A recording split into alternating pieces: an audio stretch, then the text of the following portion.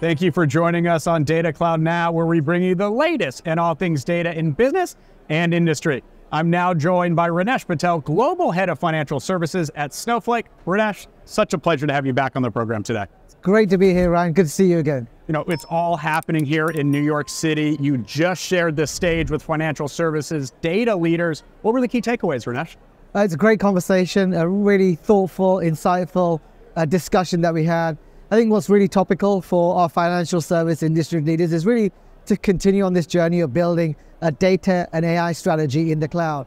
They're very much uh, thinking is, is, is very much about you know bringing data in, ingesting data, consolidating data, how they manage that data, and how they distribute that data in a seamless, um, efficient way is really very much top of mind. And now, obviously, there's a lot of discussion around commercializing and monetizing that data.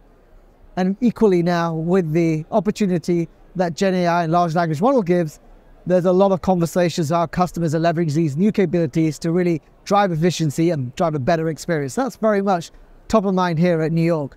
You know, glad you mentioned on Gen AI and LLMs. It was very much the top of, talk of Summit, talk of Data Cloud World Tour. We're in the financial capital of the world. As it relates to this technology, what impact do you see it having across the financial services industry?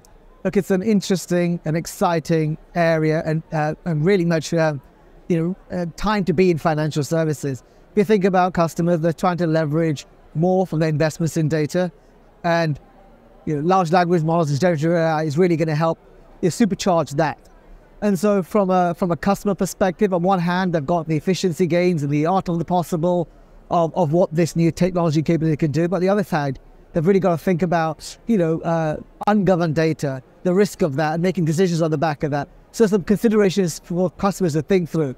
But broadly, the opportunity to really transform the customer experience, really deliver a better data-rich customer experience, to engage customers more effectively, to drive efficiency, is, is, is a great opportunity. So this is very much top of mind and very much something that our customers are looking forward to, very much an area that we're heavily investing into as well. You know, Rinesh, great to have your perspectives on the current state of the business, forward looking state. But now I want to take a step back. You know, we're almost two years into the launch of the financial services data cloud. From your perspective, how has the journey been and what observations do you have on the overall ecosystem? It's been a it's been a phenomenal journey for the last two years to build out uh, an industry data cloud, and, and the maturity uh, and the momentum is very much still still there. We know we are growing uh, at a phenomenal pace. Um, thanks to our partnership, thanks to our customers, thanks to very much the engagement uh, that we have with them.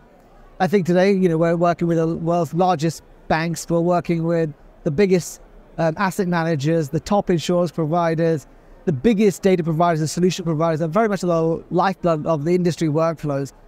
And, and, and really, what separates Snowflake today from two years ago is very much, as I said, the maturity and the momentum that we have. We have the key data providers, we have the key solution providers, the key customers, all available on the customer's cloud of choice, very much seamlessly connected to data. And our ecosystem is, is really driving and solving industry problems for our, for our industry. So momentum, maturity is very much top of mind. And that, I think, is, is very much as a consequence of the great work uh, that Snowflake and our customers and our partners have really engaged and enabled over the last couple of years.